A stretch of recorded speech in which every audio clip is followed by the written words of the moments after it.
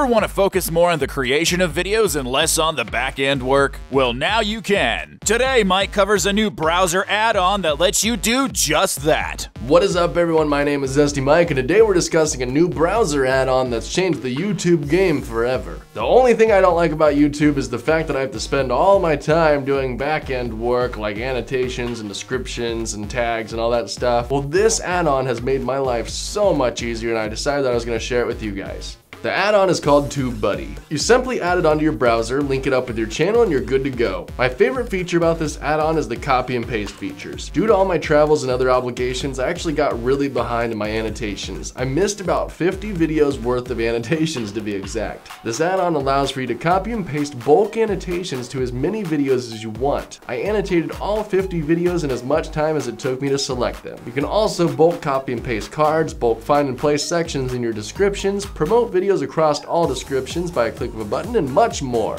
And there's a lot of other really cool features that you guys might like as well. For starters, comment filters. You could filter out all your comments depending on what you're looking for. For instance, only show questions. Now I can go through and answer all the questions without having to search for them. You can also easily submit a video to multiple different social media platforms. And of course, you can put their Tag Explorer to use. You can search tags and see the competition, see what similar tags are trending, and what would be better options for your video. Another really cool feature that's out there is the defaults tab. When you're uploading a video, you can pre-plan out your defaults to actually be there once you click upload. Well, with this, you can actually do different profiles. So you can have one for one series and one for another, and have it change out depending on the video that you upload. And there's a ton of other really cool features that this add-on does have, and they're working on making it better every day. But anyways, guys, that's it for today. I know it was a quick video, but it has helped me a ton. Hopefully it's helped you guys as well. If you want to install TubeBuddy for yourself and try it out, you can click the link down in the description below. And of course, if you want to see more of myself, you can click the links down in the description below and find all my different channels and stuff that I do and find my face all over the internet and stuff. Yay. But anyways, guys, that's it, we'll see you next week. See ya.